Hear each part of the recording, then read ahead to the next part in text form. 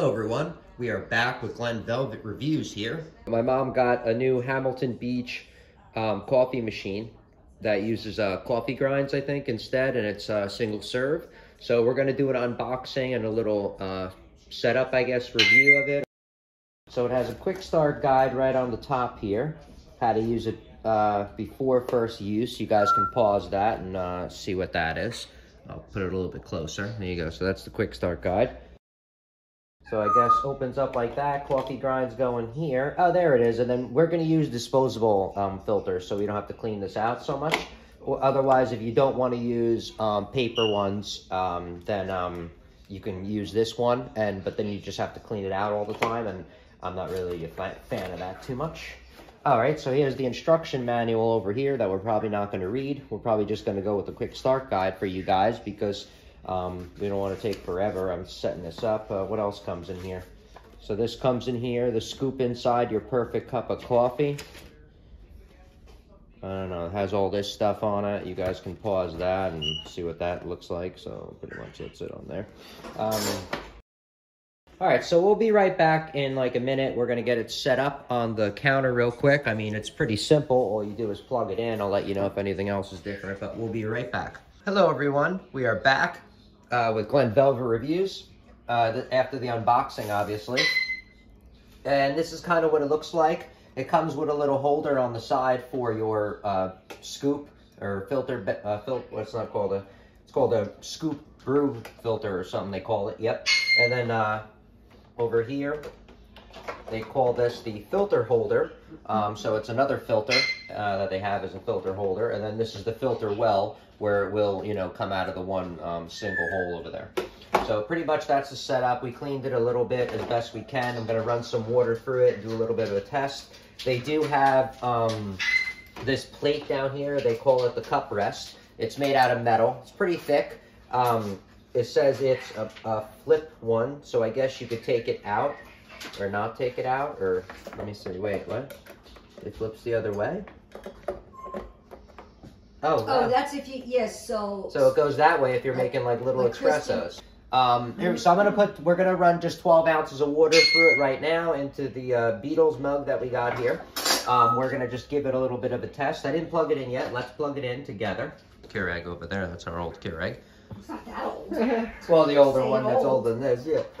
Um, all right, so, all right, so I plugged it in. Nothing really changed with the lights or anything like that. So we're going to put 12 ounces uh, probably in here, and we're going to test it out and see about brewing. Let me put everything together like it would be, just not with a coffee filter in it.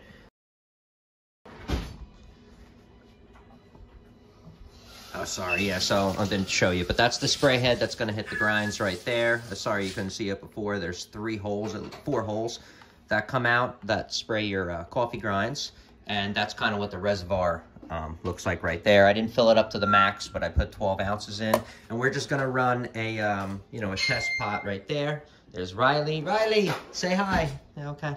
And I think we just hit the button, right? Regular. Yes. That's it. Okay. So we'll run a, a, just a dry pot first.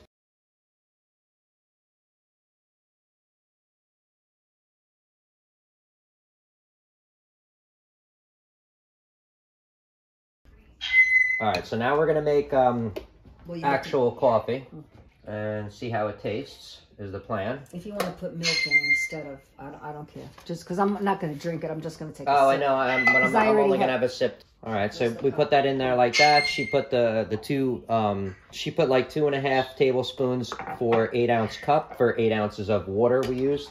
So that's what we got. Then we're going to close this up and we're going to give it a try. You want to try it on bold or regular? Which does she do use? All right, ready?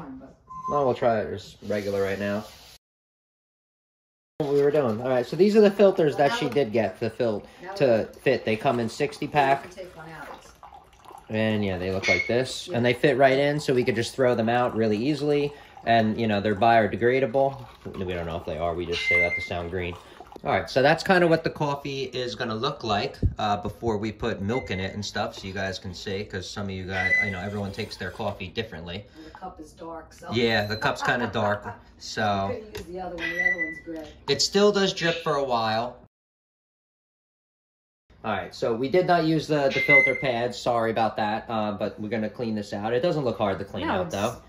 All right, so we're going to give it a taste. We're going to see uh, what's up and uh, see if it's any good. Like I said, everyone takes their coffee differently. So, like I was saying to my mom, it does splatter a little bit up here. So maybe that's why you would want to keep it in this um, position instead. So this way the coffee cup will be closer to here and then it won't splatter as much, um, is what I'm guessing. So you guys can, you know, have it that way if you want, just so you're not getting the splatter like I saw.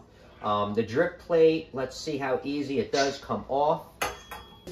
All right, so the drip tray doesn't come out on this uh, model, just to let you know. We can find that in there, so you do have to dry that up. So just obviously note to self. And that's it. So we're going to taste it, see what's up. Let's put some milk in it. I'm not used to the milk. I'm used to almond milk, so Uh, I don't know. I'm not really liking it. Unless it's the unless it's the the, The grinds? Dunkin' Donuts. yeah, it is a little. A little bitter. Maybe it's the grinds. I mean, it's coffee. It, it So- tastes a little Maybe I should- different maybe we should than what we thought. Ma-. Yeah, maybe maybe we have to clean it more. Maybe that's why. So uh, that's it for Glenn Velvet reviews on the use and review of it. That's kind of uh, the full setup and everything like that you can expect. If you have any questions or comments, please post them down below. I would love to know. Also, subscribe to my channel. Join me on my review adventures as I put up stuff to help out the community, just like I get help from the community. All right? Everybody enjoy. I'm out. Be safe.